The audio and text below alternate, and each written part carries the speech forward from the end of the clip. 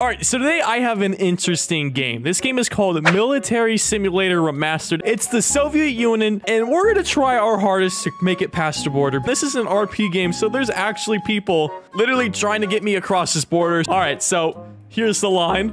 We're gonna be as not suspicious as possible. All right, opinion on Premiere. Who's that? um, um, I, I don't think we passed the test.